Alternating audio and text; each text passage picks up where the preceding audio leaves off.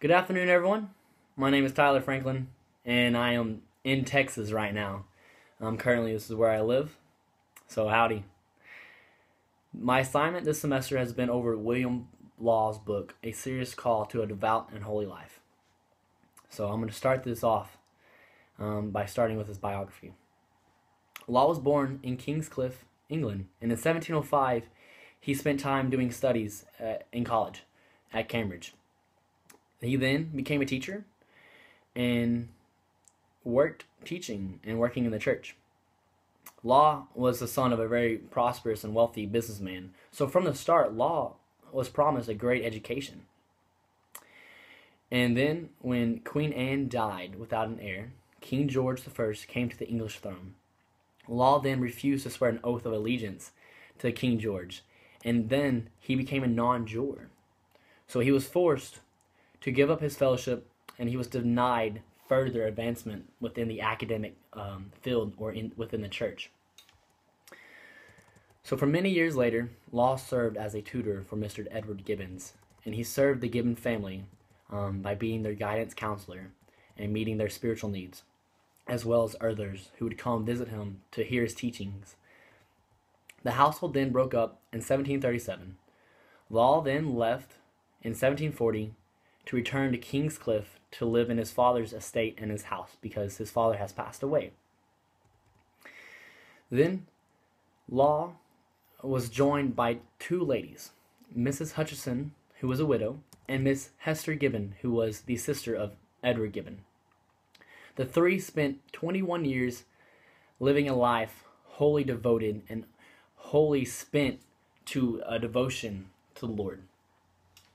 And Law spent the rest of his life um, in solitude and in singleness and, and, and spent time writing with these two women. Law then died in April 1761. Law's writings covered a, a couple fields of areas.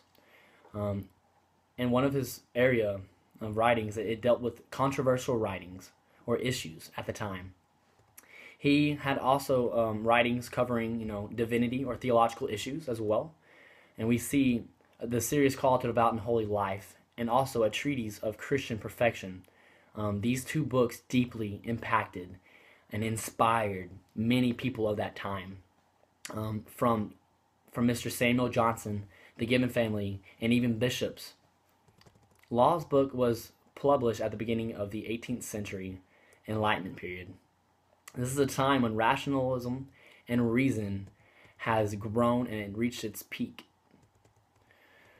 Law's writings were aimed at lukewarm Christians and helped encourage readers to live out a renewed life of holiness. Some of his writings were responses to other people's published works, um, but most of his works were in the area of Christian spirituality, which he refused. Um, he, he refused the the idea of an average Christian life and wanted to challenge people to live devout and holy um, to what is taught in, in Scripture.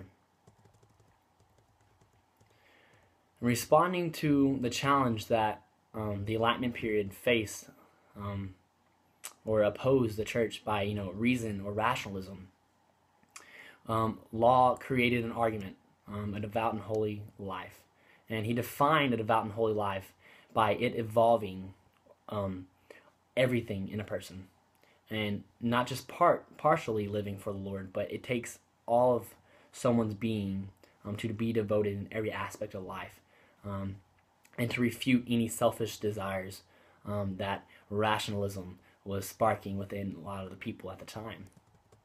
Law used fictional characters throughout his book to explain points and help, um, I guess, help shine light on the points that um, Law is trying to make. So, to give an example, Law would write about or make up a fictional character of a believer and a non believer, and he would compare and contrast um, the two lifestyles.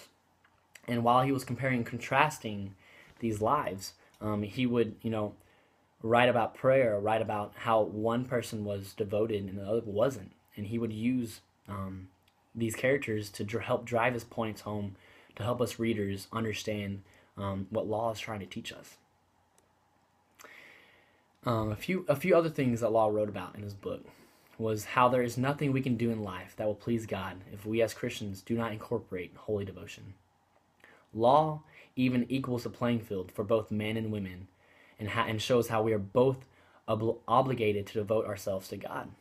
Law even states this quote, There is nothing more to be dreaded than the neglect of our Christian calling, the purpose of which is not to serve the worldly desires of a short life, but to redeem people and souls unto God, to fill heaven with saints, and to complete a kingdom of eternal glory unto God. And that is found in chapter 10.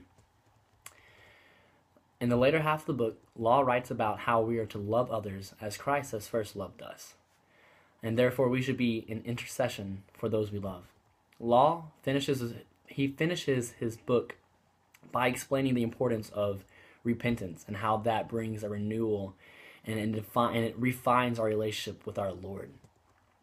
And to summarize um, a little bit more of the themes that Law writes about, um, he explains how Christian devotion involves a type of dedication, um, not a partial dedication, um, but it a dedication um, that that takes all of us, all of our aspects in our life, from our job, from our career, from our friends, our relationships, our thoughts, our prayer life, how it should all be devoted um, to the Lord. And he, he law is very radical, and he could sound legalistic in a sense, um, but his points that he drives are, uh, they're great. Um,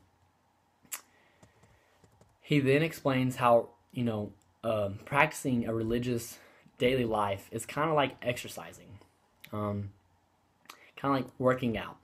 You have to uh, break down a muscle when you're lifting weights. You have to break it down and exercise it and work it out daily um, to build that muscle, build it stronger, uh, and to see results. And he, and he, in this book, he explains how devotion is like exercising and how we need to practice um, religious um, actions every day. And he uses an example of praying. How praying um, is an exercise, but it is partial exercise because if someone spends time in prayers, but his daily actions or his lifestyle does not reflect of that what he prays for, then his prayers are meaningless. So he makes comparison and he makes a point that our actions and our daily lifestyle should reflect what we are praying for, and it should reflect um, how we act on Sunday mornings. Um, so I definitely believe law loves the book of James um, and how faith without works is dead. Law makes that point, and that theme is hidden and, and threaded into the pages of his book. A couple things I had trouble with while reading um, was that at times I found it hard to follow um, William um, I found it hard to follow his points and his examples when he was trying to uh, explain um, about um, um a, a, living life.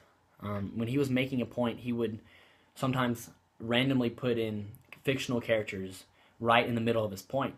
So it would kind of throw me off um, because we would go straight into a narrative story about two different people. But I had to continue reading and continue being patient so the next couple pages after his narrative, um, it would explain his, his his point that he was he started off with. So he would all relate it and tie it back to the beginning point. So I had to be patient and I had to reread a few pages to understand the full meaning of William Law's teaching.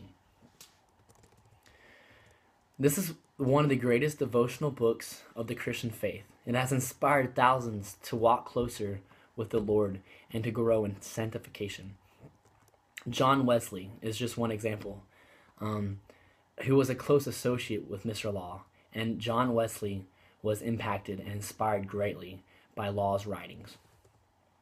I have spent some time reading um, online people's opinion reviews about this book, and there are good and bad reviews, of course, for everything, but the majority of people um, wrote about how this has impacted and changed their lives, um, how it has impacted their daily living.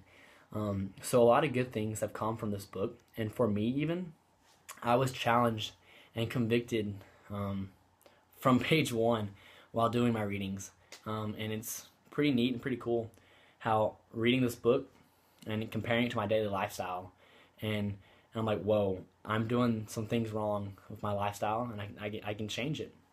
And from reading online reviews, a majority of people have experienced the same thing while applying the principle, the principles that law teaches to their life. So definitely a good read. This book has um, challenged many Christians throughout throughout the ages, um, and it's definitely a classic. So check it out if you have time. Thank you all so much for watching my video, um, and I hope you all have a great semester. So see y'all later.